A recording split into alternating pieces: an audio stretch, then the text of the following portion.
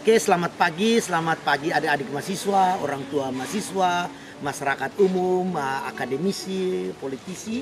Uh, selamat pagi, saya berada di lokasi kebun pembibitan ubi ungu milik Fakultas Teknologi Pertanian UKW Kupang yang berlokasi di Oesapa. Pada kesempatan ini dalam rangka pengabdian masyarakat dari uh, Universitas Kristen Artawacana selevel perguruan tinggi uh, kami menyiapkan program tahun ini yaitu akan membagi-bagi bibit ubi ungu kepada seluruh masyarakat. Petani atau bukan petani pun tapi mau berkecimpung di, di bidang ubi ungu. Uh, dan kita akan membantu juga dengan film-film atau bagaimana informasi dalam bentuk leaflets, bagaimana cara budidaya yang baik, cara uh, perawatan yang baik, cara pengolahan ubi jalar ini ke berbagai bahan makanan. Kita akan buat dalam sebuah film yang baik dan itu akan dibuang dalam web website UKW sehingga satu saat semua orang dapat mengakses bagaimana cara uh, pembibitan ubi ungu, membuat bibit yang benar, membuat budidaya yang benar, merawat yang benar, sampai mengolah berbagai, berbagai jenis makanan. Sehingga pada pagi hari ini dalam rangka KKN 2020 ini dan kebetulan juga ada sesuasana serangan virus COVID kepada masyarakat yang masyarakat juga mestinya harus berdiam di rumah. Dan ini kita kasih satu pekerjaan di rumah ya work from home. Yaitu salah satu kita akan membantu dengan proses budidaya ubi ungu. Sehingga pada kesempatan ini saya akan memulai dengan bagaimana kita mencabut atau ini ubi ungu yang sudah siap kurang lebih umur sudah hampir tiga bulan kurang lima hari kita akan mencabut dan menunjukkan pada anda-anda bagaimana adanya potensi ubi ungu di NTT atau khususnya di Kupang. Selama ini orang mengenal ubi ungu atau ubi jalar, ungu atau ubi jalar yang lainnya hanya hidup di daerah ketinggian. Di Indonesia di Jawa Barat, di Malang, uh, di NTT itu hanya ada di TTS, di Bajawa. Mestinya tidak. Karena dari segi budidaya ubi ungu dapat tumbuh mulai dari 100 meter dari permukaan laut sampai 1200 meter permukaan laut. Nah ini kami sudah coba 7 tahun terakhir. Kita menguji coba ubi jalar ungu ini. Ternyata dia punya daya respon daya tahan di lahan kering itu uh, luar biasa. Sehingga kami putuskan bahwa UKW akan fokus dengan ubi ungu ini dalam pengembangan baik pada risetnya maupun pengembangan masyarakatnya pada kesempatan sehingga selanjutnya nah, kita akan melihat bagaimana kita akan mencabut ubi ungu ini dan kita akan memulai bagaimana belajar untuk budidayanya. Oke, jadi sekarang kami berada di kebun ubi jalar ungu yang umurnya kurang lebih sudah uh, sudah empat eh umurnya kurang lebih sudah sekitar tiga bulan atau beberapa hari lagi udah mencapai tiga bulan. Nah ini kita akan mencabut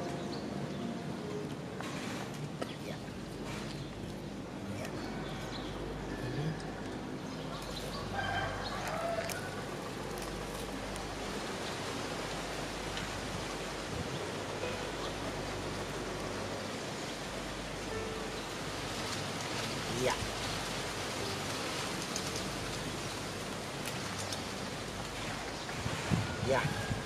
Tuh. Ini kita cabut dari satu pohon ubi jalar ungu yang kemarin kita timbang itu ukurannya kurang lebih 800 gram per pohon. Ini tanpa dipupuk, tanpa diberi pengawet, atau diberi perangsang-perangsang tertentu. Ini umurnya kurang 10 hari, 3 bulan. Nah, kita tahu bahwa ubi ungu ini merupakan uh, uh, ubi yang baik untuk konsumsi. Anda lihat berwarna ungu, kualitasnya cukup baik. Uh, gulanya mencapai di atas 20 brix, lebih manis dari gula tebu. Uh, warna ungu ini menunjukkan adanya antioksidan kuat. Dia memiliki positif kuat menurut analisis lab sehingga baik untuk memperbaiki daya tahan tubuh uh, untuk anak-anak, orang hamil, orang dewasa dan manula malah. Uh, tidak sulit. Benar tidak sulit. Kita kita menanam ubi ungu ini. Nanti kita akan bersama mulai. Uh, dia memiliki karbohidrat kurang lebih 30 sampai 40 persen. Setelah dipanen dia bisa bertahan kurang lebih empat bulan disimpan tanpa diolah. Selama penyimpanan itu rasanya akan semakin manis. Rata-rata kalau kita tanam itu per per uh, per pohon per bulan itu satu kilogram. Kalau dengan jarak tanam yang kami lakukan 30 kali 30 berarti satu hektar itu ada 30 ribu pohon. Sehingga di lahan kering NTT kalau kita kembangkan ubi ungu ini secara baik, kita akan menghasilkan 30 ton ubi ungu dalam waktu 3 bulan. Bayangkan saja kalau kita jual satu kilo 5 ribu rupiah saja, sudah dapat 150 juta. Tidak mungkin lagi ada kelaparan di NTT. Ini kita tanam, ini tidak rawat tanam saja ke dalam tanah. Tanahnya saja biasa-biasa saja, tidak membutuhkan tanah yang luar biasa. Tanah-tanah, tanah-tanah timur, Mediteran, potsolik merah kuning, tidak sulit. Tanah ini tidak terlalu baik. Dari segi budidaya, tanah ini tidak masuk kategori tanah yang baik. Tetapi, ubi jalar ungu ini sangat respon dengan iklim, dengan model curah hujan, dan model tanah yang ada di timur atau secara luas NTT. Sehingga kenapa kami tidak kembangkan secara baik ubi ungu ini agar masyarakat tidak kelaparan target pertama. Daya tahan tubuh baik. Dan ubi jalar ungu ini bukan saja makan dia punya umbi saja. Tetapi juga pucuknya dapat dimakan dalam bentuk sayuran. Ini dapat dimakan sayur ini. Dan sayur ini kandungan tertinggi dari seluruh sayur-sayuran ada pada ubi jalan ungu. Khususnya besi. Besi itu mencapai 10,0, 10,1. Nah, sehingga untuk mengatasi stunting salah satu persoalan stunting di NTT itu adalah kekurangan besi. Baik pada ibu hamil maupun anak-anak. Rekomendasi kita untuk mengatasi stunting yaitu tidak perlu makan kangkung lagi. Di kangkung purinnya tinggi, orang asam urat sangat berbahaya. Tapi di ubi jalan ubi tidak. Jadi apabila kita menanam ubi jalan ubi, bukan saja kita dapat umbinya, tetapi kita juga dapat sayurnya. Dua. Dia tidak membutuhkan air yang banyak. Dan dari umbi ini, ini dapat membuat keripik, dapat membuat es krim, membuat bahan dasar tepung untuk berbagai kue, membuat stik, membuat cemilan-cemilan yang lain, membuat bubur bayi, membuat french fries. Jadi, Anda lihat ini, utuh. Ini satu hari kita hanya menyiram, eh, empat hari sekali kami siram. Mungkin tahap pertama saja kita siram setiap saat, setiap hari. Itu pun saya akan kasih petunjuk dalam budidaya. Sehingga daya dengan kita kembangkan ubi ungu ini, kita harapkan bahwa masyarakat NTT di lahan kering tidak kekurangan bahan makanan di musim tertentu. Saya tidak memaksakan Anda semua menggantikan beras. Ubi ini menggantikan beras. Ubi ini menggantikan jagung, tidak.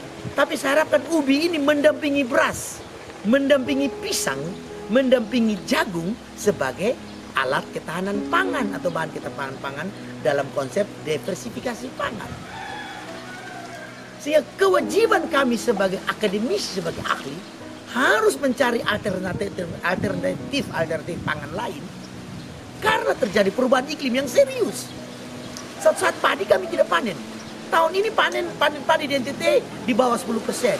Panen jagung di bawah 10 persen. Tapi di mana-mana ada orang panen ubi. Sekarang kita ada tanam di mana-mana ubi ini. Tinggal apabila padi tidak ada, jagung tidak ada, pisang juga menurun atau ubi milan, kita bantu komplementer atau substitusi dengan ubi ungu ini. Bisa tanam di pekarangan rumah, dapat ditanam di mana saja. Kita bisa lihat bersama bagaimana kami sudah mulai kembangkan ubi ungu di lab ini. Satu lab ini menjadi pusat informasi budidaya ubi ungu serta pengolahan ubi ungu di Timor, NTT, dan mungkin di seluruh Indonesia. Mungkin kita akan makan di negara-negara yang miskin seperti Afrika, Afrika, atau Afrika Selatan, Afrika Utara yang sering kelaparan.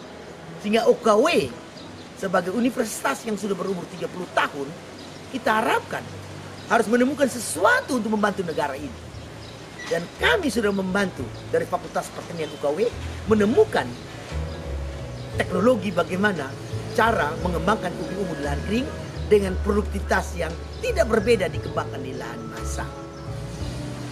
Sehingga akhirnya setelah ini saya akan bagaimana memasuki bagaimana cara membuat bibit ubi ungu untuk kita tanam di kebun.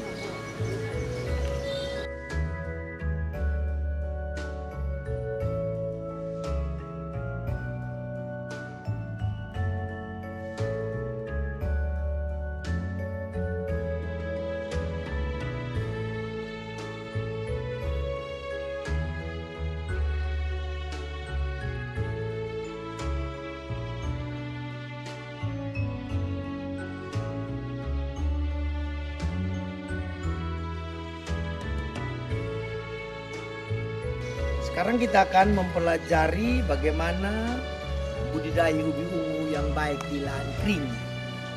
Uh, lahan kering itu problem pertama itu kekurangan air. Sehingga bagaimana kita kembangkan ubi ungu ini di lahan kering, tapi dapat berkembang dengan baik dengan prioritas yang tidak kalah dengan di lahan basah. Dalam budidaya di lahan kering itu kami tidak menanam seperti yang ada di lahan basah, tapi kami menanam di dalam lubang. Jadi membuat lubang untuk di jalan ungu ini. Di mana-mana orang membuat bedengan. Tapi bukan saya katakan tidak boleh di bedengan. Di daerah yang banyak air boleh. Tapi khusus kami Harta Wacana melakukan penanaman di dalam bedengan dan vertikal. Dia tidak horizontal seperti kita mengenal bagaimana ubi jalar ditanam secara tradisional. Pertama, ini bibit yang kami sudah kembangkan kurang lebih tiga hari sampai empat hari. Ini bibit sudah siap tanam. Sudah dalam polybag. Kenapa harus lewat polybag di lahan kering? Bisa saja bibit yang kami ambil pucuknya ini, kita langsung tancapkan ke dalam tanah. Tetapi karena daerah kita kering dan panas, suhu yang mencapai 30 derajat Celcius, dia kering malah dia mati. Beda di lahan basah karena suhunya dingin. Sehingga kalau kita langsung menancapkan pucuk ini sesuai pola tanam budidaya di lahan basah dan di seluruh dunia orang langsung menancapkan batangnya. Kalau di lahan kering mati, tidak bisa hidup karena dia kering. Ini kalau kita tancapkan dua hari saja biar kita siram, dia bisa kering. Tetapi kita harapkan kita tanam dia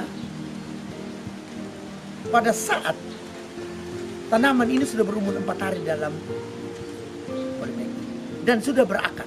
John coba lihat ada tanaman yang sudah lama sebelah kiri yang sudah berakar.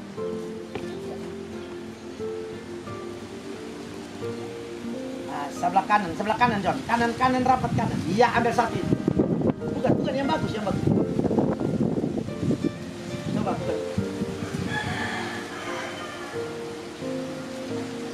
Daunnya agak banyak. Nah itu tidak apa-apa.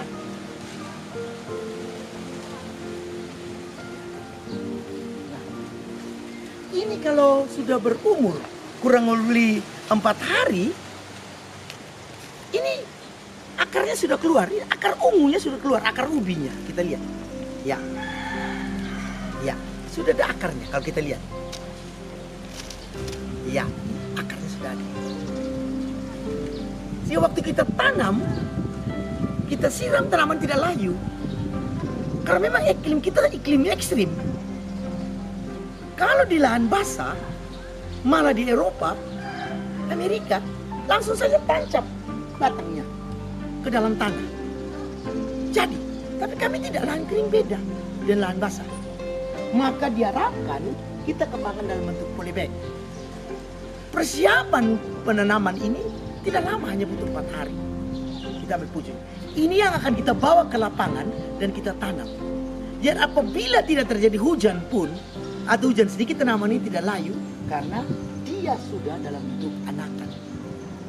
Sudah berakar. Dan ini akar-akar ungunya ini sudah akar ubi. Baru tiga hari, empat hari sudah akar, ada akar ubinya. Di waktu kita kasih masuk ke dalam tanah, terjadi pembesaran sudah cepat. Sehingga beginilah cara kita membuat ini. Nah, ini komposisi tanah di dalam polybag. Ini, ini komposisinya apa kita lihat ini. Kita mempergunakan tanah dengan campuran sekam 50-50% sekam padi. Atau kalau tidak ada sekam padi, pasir juga tidak apa-apa. Kalau tidak ada padi atau sekam pasir, pakai tanah putih. Ini, tanah, ini tanah remah. Tanah putih. Tanah putih ini biasanya orang bikin batako atau membuat room. Ini, tanah-tanah. Ini yang kita masukkan ke dalam polybag. Dengan ukurannya ini 510. Kalau ada beli polybag itu ukurannya 4 atau 5 510. Setelah kita isi di dalam polybag ini akan menghasilkan seperti begini. Nah, bibit tadi itu kita tancapkan.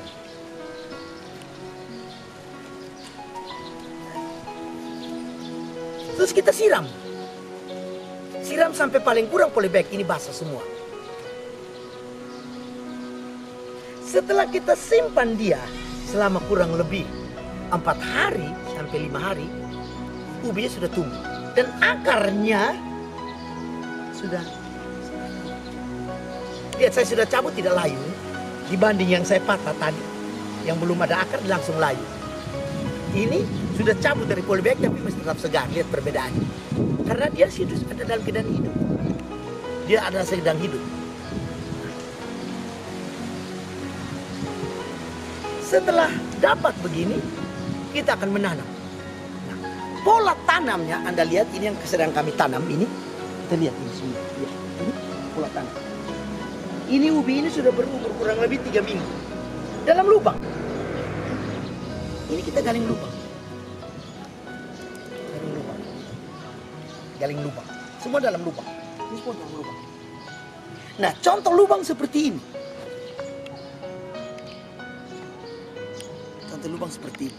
Nah bagaimana kita menyiapkan tanah yang baik dalam lubang ini agar ini menjadi rumah atau tempat tidur yang enak bagi si ubi ini. Karena rata-rata tanah di timur sebagian besar itu keras dan berbatu. Jadi kita perlu menyiapkan sebuah lubang yang baik. Dan lubang ini kita akan memberi tanah dari tempat lain. Atau kalau apabila ada tanah di tempat tersebut. Misalnya ini tanah-tanah.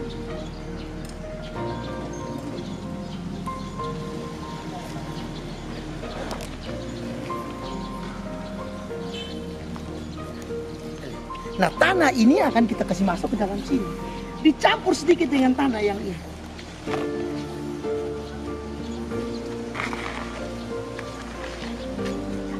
Kalau terlalu kasar, kita campur sedikit dengan sekam padi. 10 sampai 20 persen. Terus kita campur aduk merata dia.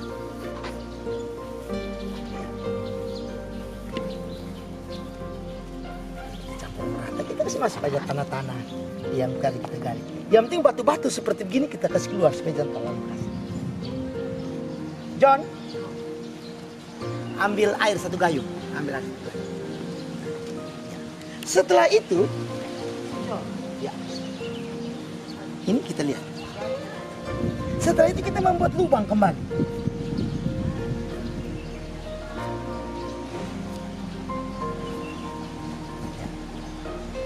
Kita mensobek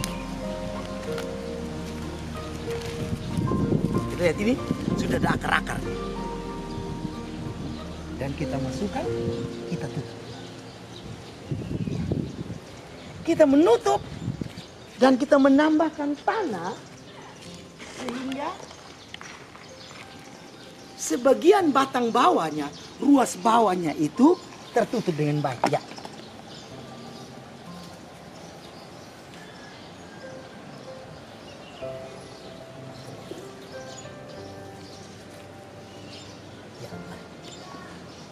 Selanjutnya kita menyiram. Cukup satu liter. Ini satu liter. Cukup. Kita butuh hemat air. Karena lahan kering ada persoalan di air. Ya, ini air turun dengan cepat. Menandakan bahwa tanahnya roh nggak bagus. Karena ubi jalar tidak bisa pada tanah padat.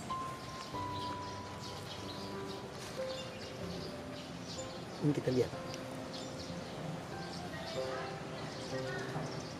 Selanjutnya setiap hari, kurang lebih satu minggu itu, kita menyiram satu liter per pohon per hari.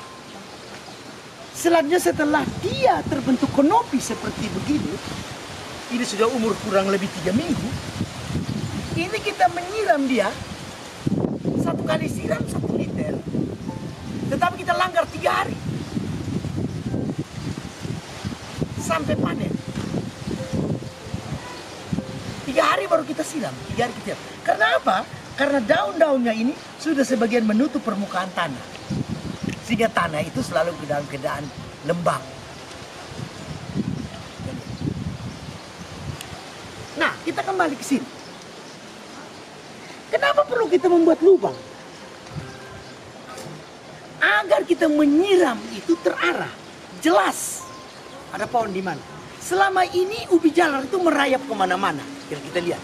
Walau pada saat terjadi kekeringan, kita mau menyiram tidak tahu menyiram di mana. Tapi sekarang dengan pola lubang ini, kita tahu persis ubi jalar itu ditanam di mana dan kita siram di mana. Karena jenis ubi ungu ini, dia tidak berbuah pada cabang-cabangnya. Tapi dia hanya berbuah pada pangkal batangnya. Seperti saya tunjukkan tadi. Ubi jalar dari jenis ubi ungu ini, dia hanya berbuah pada batangnya. Dia tidak berbuah pada tangke-tangke merayapnya. Biar dia merayap. Dia hanya berbuah fokus di sini. Akibat kalau fokus, kita tidak perlu mengolah tanah secara luas dengan traktor. Kita hanya cukup dengan minimum tillage, yaitu membuat lubang dengan ukuran 30-30 sesuai penelitian kami di Fakultas Teknologi Pertanian UKW. Kami sudah melakukan ini 7 sampai 8 tahun. Sehingga kami sudah berani bagaimana uh, menampilkan tanaman ini untuk membagi ke masyarakat di lapangan. Setelah kita tanam ubi ungu ini, berumur kurang lebih satu minggu, satu minggu, kita putuk, pucuknya kita pangkas rapat. Kenapa? Agar daun pucuknya itu lebih cepat. Selama ini kan orang tidak pernah pangkas ubi jalar. Biarkan secara alamiah. Jadi pertumbuhannya ada yang cepat, ada yang lambat. Tapi dengan kita pangkas dia punya pucuk ini, dia akan bercabang seperti ini.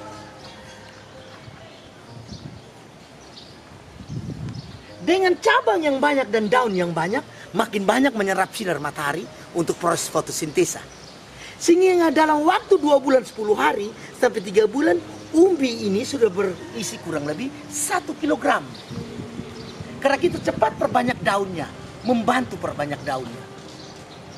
Dalam penelitian kami atau pengamatan kami selama ini, ubi daun jalur ungu ini memasuki umur satu bulan setengah, daunnya harus di atas 50.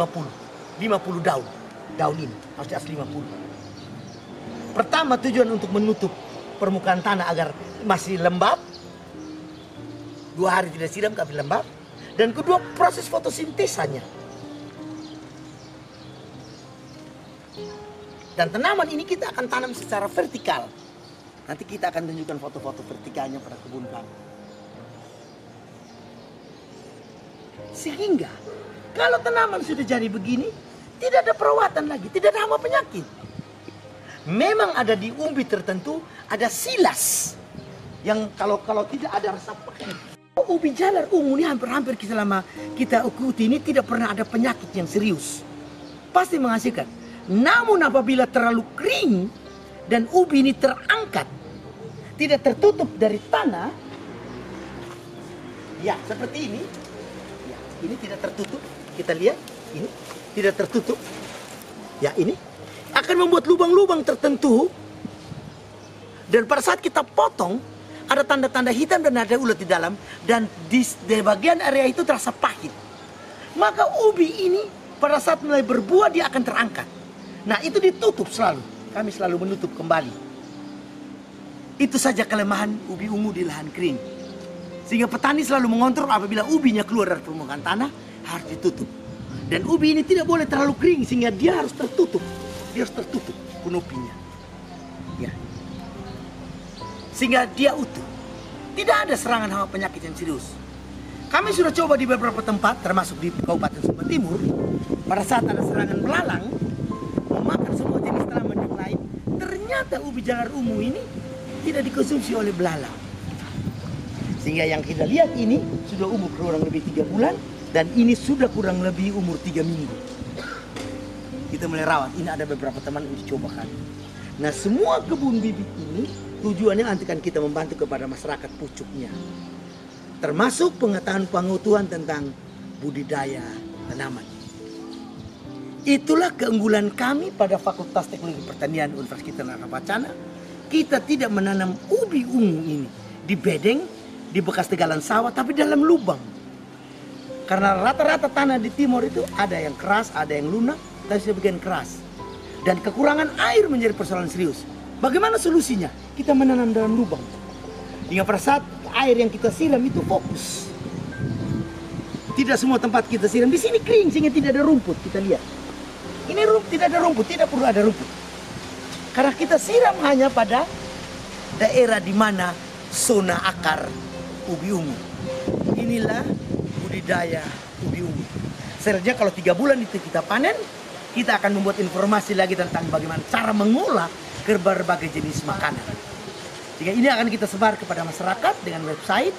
Kalau ada pertanyaan bisa lewat HP, bisa lewat WA, atau lewat WC, website, internet, UKW dan lain-lain, atau Arta Wacana lain-lain, sudah dibuang kepada dunia publik atau di dunia uh, dunia internet.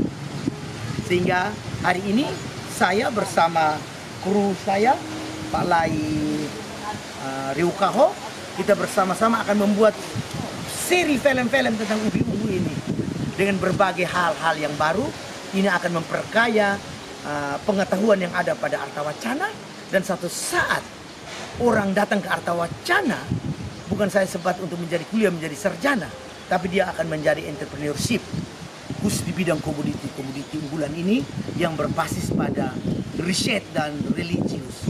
Sekian dan terima kasih.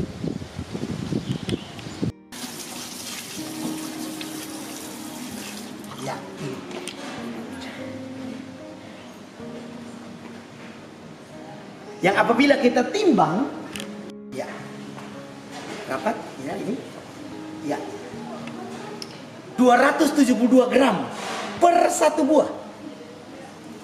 Ini kita lihat.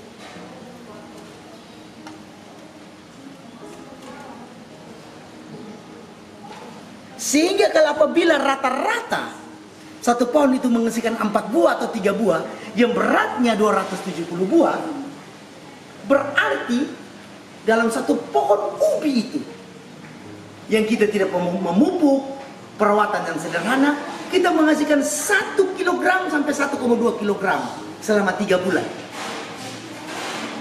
Ini sudah terbukti. Kita sudah cuci, jadi ini bersih. Berat bersih di luar kulit. Berat bersih di luar kulit.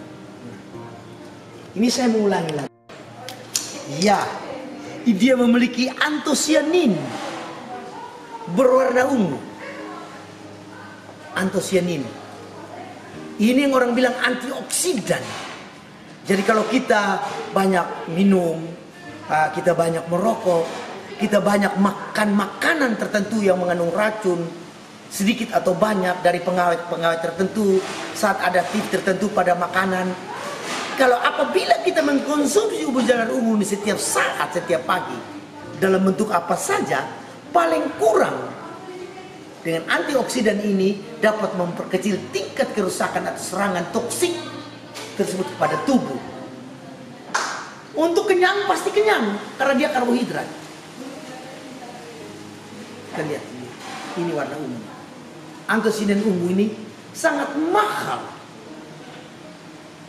Bisa masuk ke internet dan ketik bagaimana komposisi ubi ungu, apa saja yang terkandung di dalam bahan-bahan ini yang dapat memperbaiki tubuh kita. Banyak negara yang hidupnya berbasis pada pangan ubi ungu ini. Jepang, Korea, beberapa negara